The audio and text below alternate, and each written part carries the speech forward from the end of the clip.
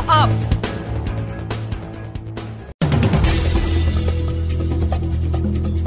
13นาฬิกา6นาทีจับตาพักประชาธิปัตย์ประชุมสสชัดเจนเข้าร่วมรัฐบาลกับพักพลังประชารัฐหรือไม่ อุบไตส่งชวนและบัญญัติชิงเก้าอี้ประธานสภา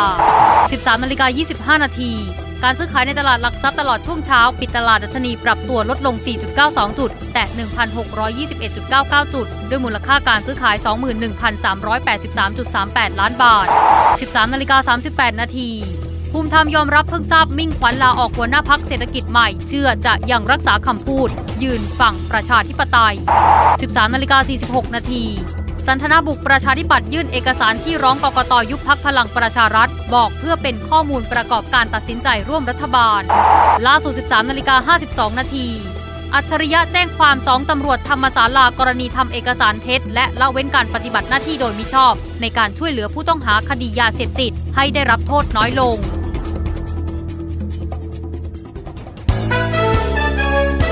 INN News